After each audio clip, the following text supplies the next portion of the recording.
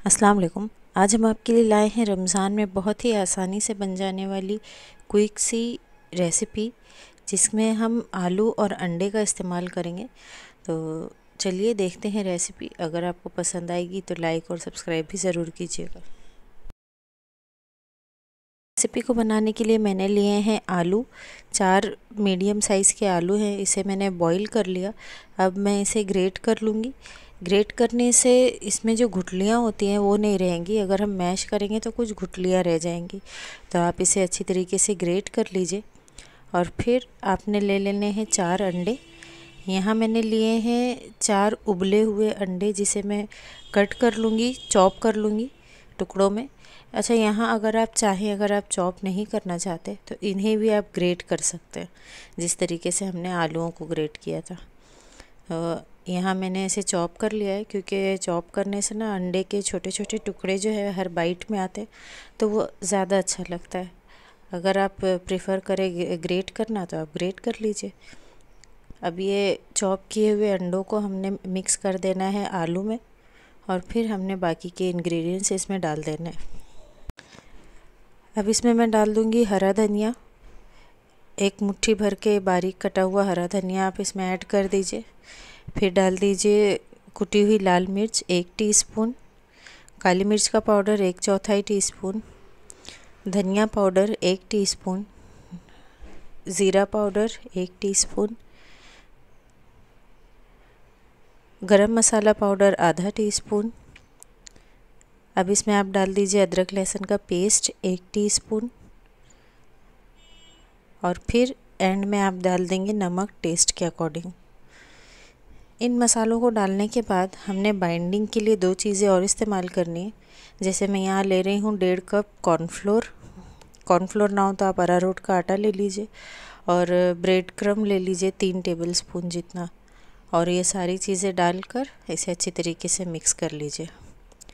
Cornflour और bread crumb डालना इसलिए ज़रूरी है ना कि इससे एक बाइंडिंग आ जाएगी और जो हमारे आलू के कबाब है वो टूटेंगे नहीं। तो बस इसे आप अच्छी तरीके से मिक्स कर लीजिए और फिर इसके आप कबाब या कटलेट्स जो भी कह लें, वो बना लेंगे। तो उसके लिए सबसे पहले हाथों को ग्रीस कर लीजिए तेल से और जितने भी साइज़ में आप छोटा बड़ा जैसा भी इसे बनाना चाहते हैं, आप इसके कबाब बना लीजिए। बहुत ही आसान सी रेसिपी है। और देखिए कितने कम इंग्रेडिएंट्स कितने सिंपल इंग्रेडिएंट्स के साथ मिलकर बन जाती है। तो आप इस रमज़ान इसे ज़रूर ट्राई कीजिएगा। एग लवर्स के लिए बहुत अच्छी रेसिपी है।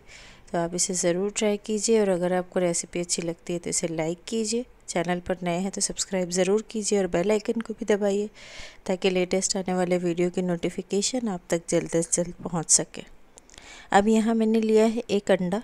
उसमें चुटकी भर नमक डाल के उसे अच्छी तरीके से फेंट लिया और फिर हम इसे एक साइड में रख देंगे और फिर हम अंडों को तलने के लिए तेल को गर्म कर लेंगे। यहाँ एक पैन में मैंने तेल लिया है और तेल अच्छा खासा गर्म होना चाहिए, इस बात का ध्यान रखिएगा। कबाब को डिप कर लीजिए अंडे में और फिर इसे पैन में डाल दीजिए। जब तेल अच्छा खासा गर्म हो, तब डालिए और उसके बाद मीडियम फ्लेम पे आप इसे गोल्डन होने तक पका लीजिए। अगर आप इसे ठंडे तेल में डाल देंगे तो ये या तो बहुत ज़्यादा तेल एब्जॉर्ब कर लेगा, या फिर जो आलू है इसमें का, वो बह जाएगा।